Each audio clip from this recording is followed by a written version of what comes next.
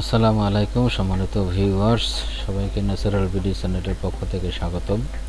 আজ আবারও আপনাদের সামনে হাজির হলাম ড্রাগন ফল গাছের সুন্দর পরিচর্যা নিয়ে। বন্ধুরা, আপনি যদি বাসা বাড়িতে ড্রাগন ফল চাষ করে থাকেন, তাহলে ভিডিওটি আপনার জন্য। ভিডিওটি না টেনে মনোযোগ সহকারে দেখবেন, অবশ্যই আপনি উপকার পাবেন। তাহলে চলুন শুরু করা যাক আজকের পর্ব।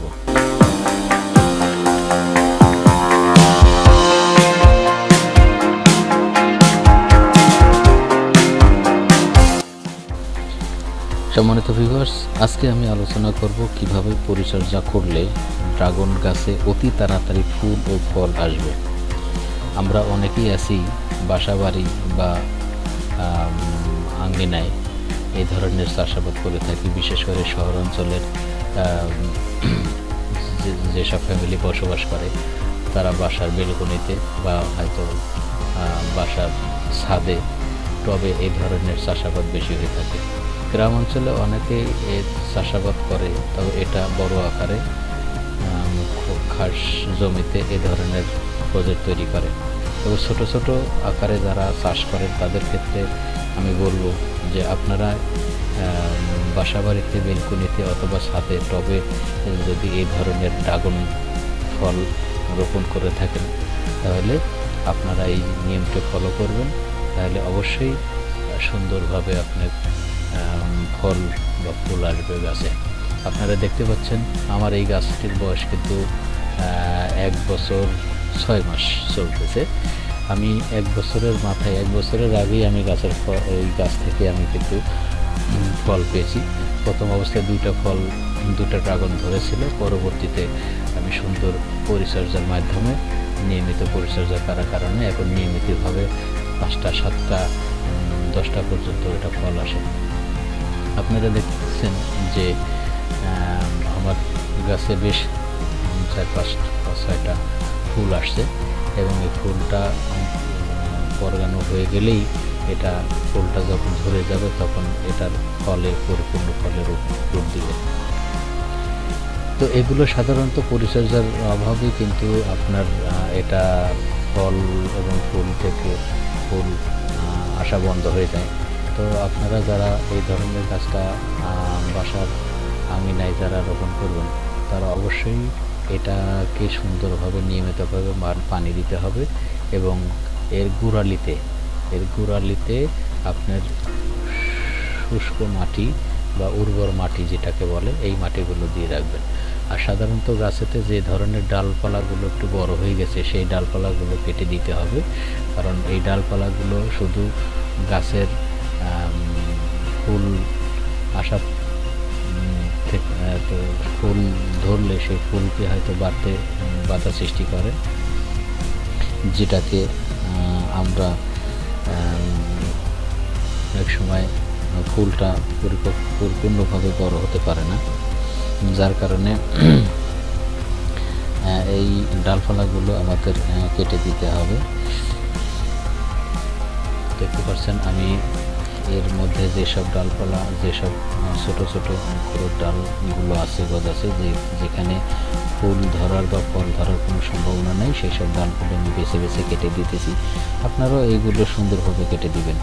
যেন ওই ডাল অন্য ডাল থেকে ফল বা ফুল বের হওয়ার থেকে মানে বাধা সৃষ্টি না করে। আর এটাতে আপনার প্রতিদিন নিয়মিতভাবে পানি না দিলেও আপনার একদিন পর পর পানি দিলে এটা সুন্দরভাবে বাড়বে। আর বিশেষ করে যখন আপনি এটা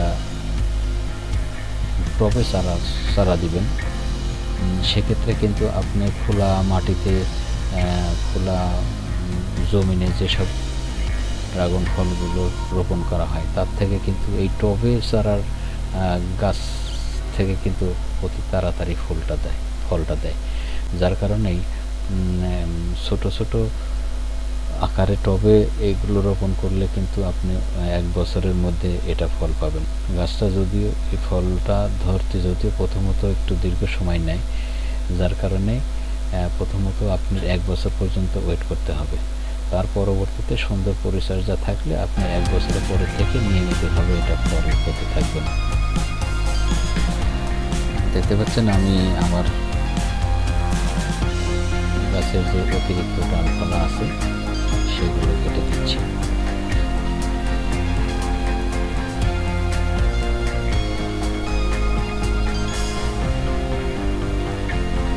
আর এটাতে আপনার সার হিসেবে আপনার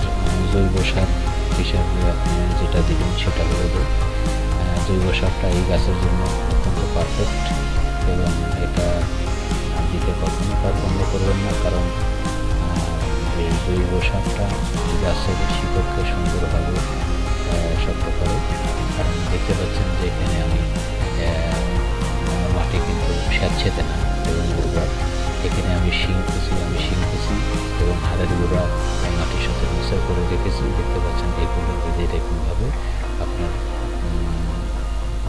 উম, মেজনের দিকে এই সারগুলো প্রয়োগ করলে আপনার সাধারণত গাছের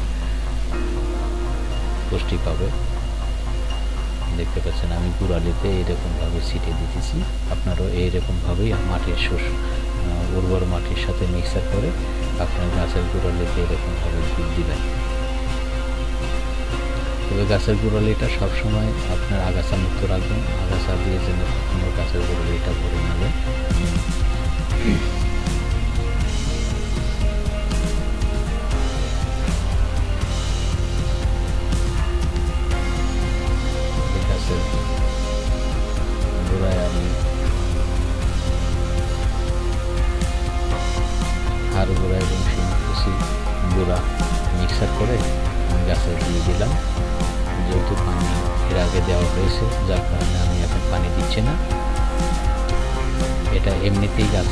গাছের গোড়া থেকে সুন্দরভাবে বসে যাবে।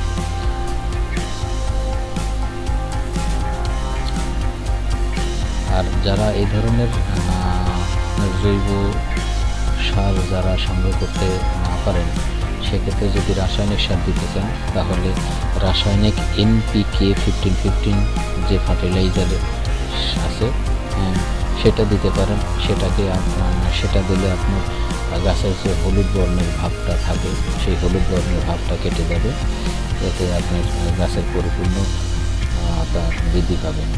আর এর আগে বলেছি এর আগেও একটা ভিডিওতে আমি আপনাদের বলেছি যে যে গাছের নিউগ্রোতে বেশি দেখা দেবে সেই গাছগুলোর ডালপালা মাথাটা কেটে দিবেন। তো এমনিভাবে আপনি আপনার বাসার আঙিনায় যে ধরো যতগুলো টবে এই ধরনের ফল গাছ রোপণ করেছেন তারা এমনিভাবেই নিয়মিতভাবে পরিচর্যা করবেন। অবশ্যই অতি তাড়াতাড়ি আপনার ফল পাবেন। তো বন্ধুরা আজকের মতো এ পর্যন্তই।